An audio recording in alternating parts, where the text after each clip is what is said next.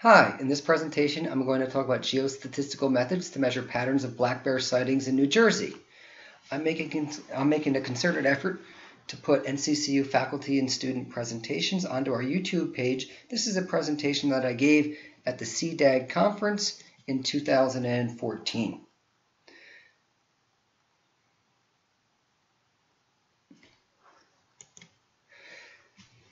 In regards to black bear sightings in New Jersey, I grew up in New Jersey, and this has been an issue of debate for the last 20 years or so.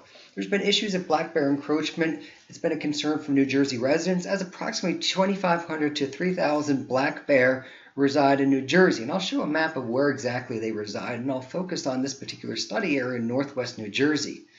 Starting in about 2003, we have yearly bear hunts that keep this number stabilized or so. And like I said before, most of the bear sightings are concentrated in northwest New Jersey, although every all 21 counties in New Jersey have seen at least one black bear sightings. And we're going to use the GIS to illustrate and analyze these particular patterns. This is a particular concern because in 2000, in September of 2014, there was a black bear, fatal black bear attack in Passaic County. This is the particular study area that we're talking about. We're talking, looking at northwest New Jersey. We have Hunterdon County, Morris County, Passaic, Sussex, and Warren County. And you can see the eastern parts of Passaic and Morris County kind of encroach into pretty much suburban uh, suburban New Jersey and you know the, the outlying urban areas of New York City. In terms of a literature review, you can see the map over here to the right, which shows information from the New Jersey Department of Fish and Wildlife. And this is how they map their black bear sightings. And you can just see the distribution of these black bear sightings and the movement of black bear throughout the state. When I grew up in New Jersey in the 70s, 80s, and you know early 90s, black bears weren't a concern, but they're seen they're seen on a regular basis these days. In terms of GIS, this animal behavior can be easily brought into a GIS. Now, in the United States, most of this research is focused on deer vehicle collisions. Unfortunately, it's it's hard to tell with regional differentiate, you know, with regional differences, um, the exact causes of deer vehicle collisions. You know, we have pixel variety, we have location to bridges, we have different kind of local factors that affect all these. So it's hard to encapsulate these within one, but there's a lot of good regional studies that focus on this. We have bear studies that have been have, that have used geostatistics, ANOVAs, buffer analysis, and regression throughout the pretty much North America that show these. And like I said before, the New Jersey Department of Fish and Wildlife publishes black bear sightings at the municipality level. Now, sub-county enumeration units in New Jersey include townships and boroughs. And you can see the map right here where you can see some areas in pink. Well, these areas in pink because they're much smaller. So we're going to look to address this using uh, Uh, enumeration unit called the quadrant. Now, in terms of how I got these black bear points, these black bear sightings were supplied by the New Jersey Department of Fish and Wildlife as addresses between 2010 and 2012, and I geocoded those and projected them on the New Jersey State Plane, and almost all of them geocoded correctly. Now, what I did is I only queried Category 1 and Category 2 bears, which were threat to life and property and nuisance bears. And within my study area, there was about 4,700 points within this study area. As you can imagine, 4,700 points superimposed on this five-county area is just going to look like a mess. So I need some way to analyze this. And you can see a zoomed-in version here of Chester County and uh, I'm sorry, Chester Borough and Chester Township within the border of Morris County here next to Somerset County. And like I said previously, the New Jersey Department of Fish and Wildlife kind of grouped these enumeration units and kind of counted these bear sightings by enumeration units. And you can see this can be problematic because we have this annular unit here of Chester Borough, which is completely, you know, surrounded by Chester um, Township. And then we have this little cluster of bear sightings up here, which are going to count within this entire enumeration unit right here. So I wanted to kind of figure out a way to universally place these and analyze these in some way, shape, and form. Now, the first thing that I looked at was quadrant analysis.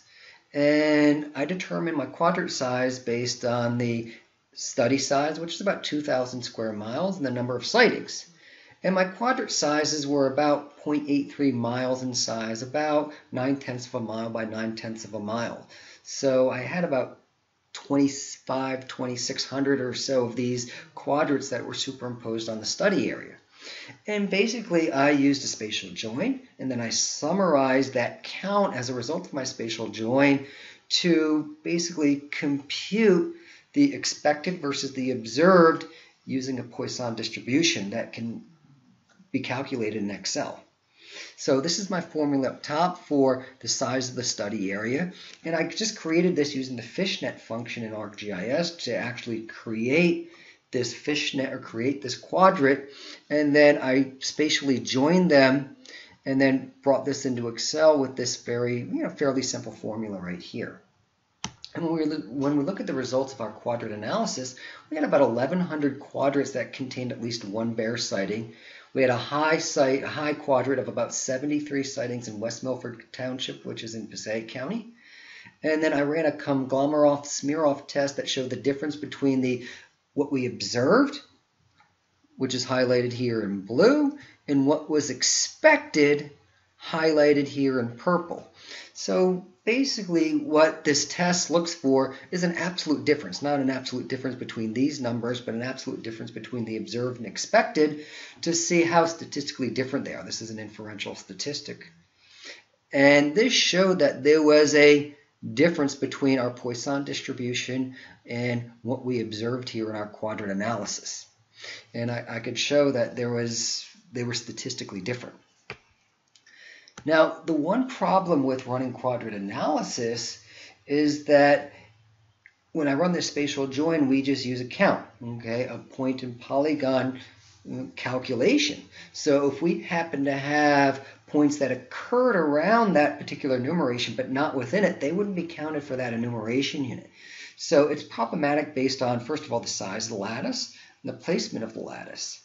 So the other thing that I wanted to run, and this is something I've done here in the past, is run some sort of range density analysis where I create a density surface using my point density function using a one mile radius.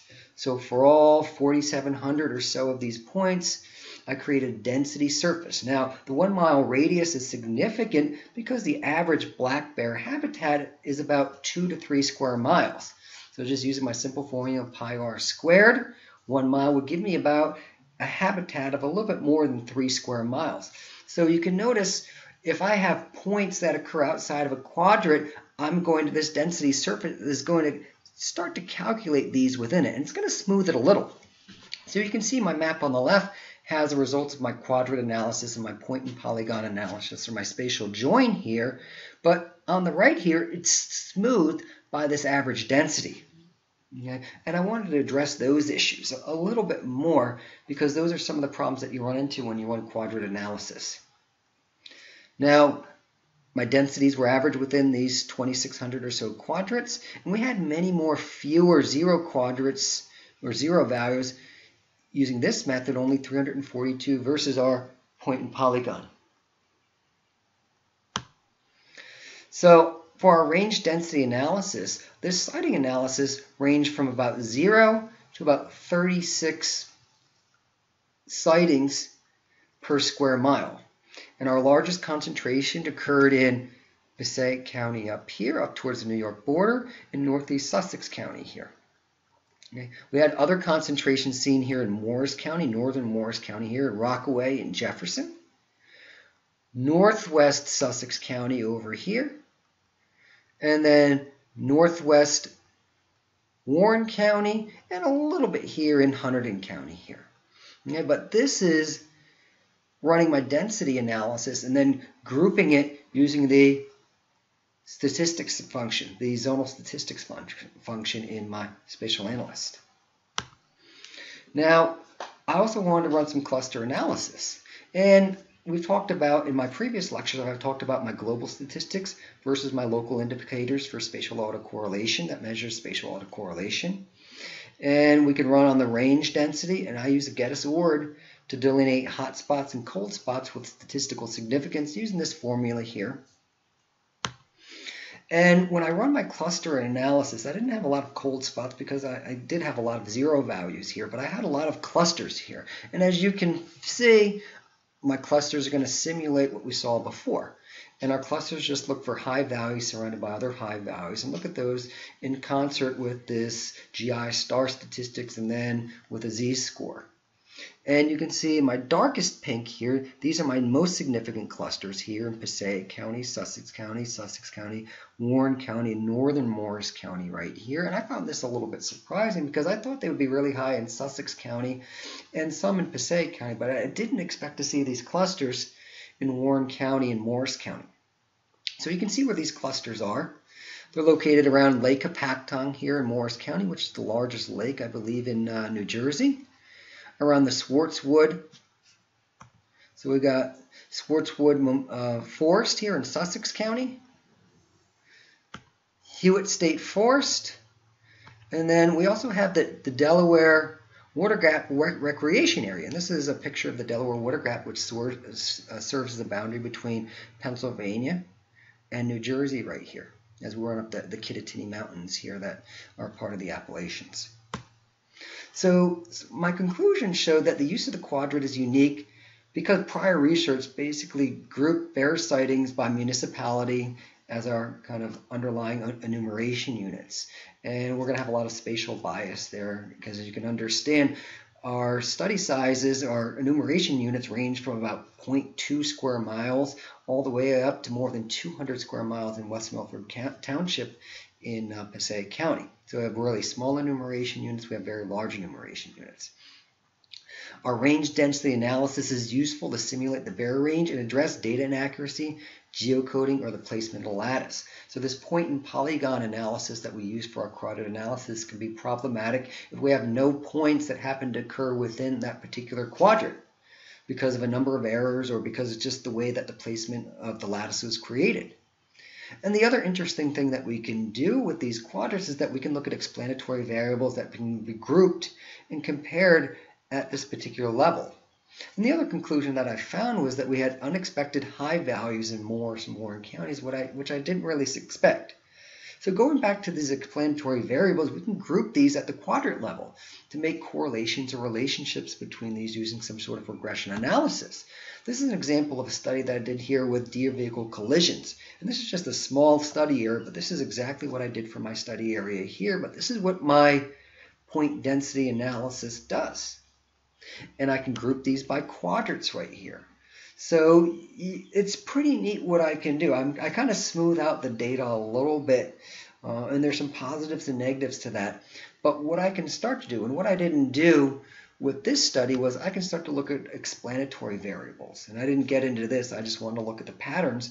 But this is an example of pixel variety from my NLCD data using my, my 5 by 5 square. So I can see where pixel variety is the highest or the lowest. And I can do the same thing with some of this, the quad, the 2600 quadrants that I have for my Northwest New Jersey. So I can look at things like slope, distance from trash, and the New Jersey Department of Fish and Wildlife and the New Jersey um, um, Department of Environmental Resources has a lot of good GIS data resources. So we can maybe start to see some of these like, explanatory relationships, you know, population density, low population density, you know, straight up population distance from roads or whatnot to look at these patterns of these bear sightings.